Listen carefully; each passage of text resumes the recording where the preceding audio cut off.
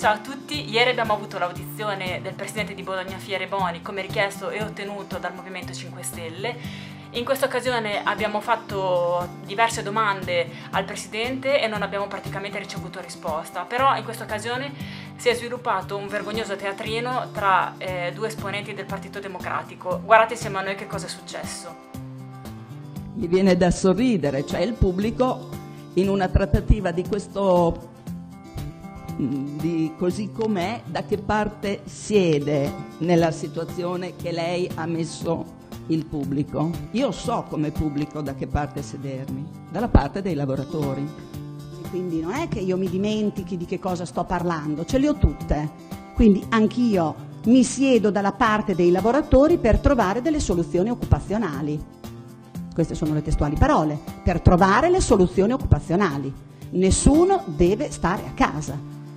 Come avete visto questo scontro è, è l'emblema dell'imbarazzo e dell'incompetenza del Partito Democratico. Imbarazzo perché come ci ha confermato Boni, soci pubblici e soci privati erano a conoscenza del piano lacrime e sangue, quindi comune e regione sapevano e non hanno fatto niente per fermarlo.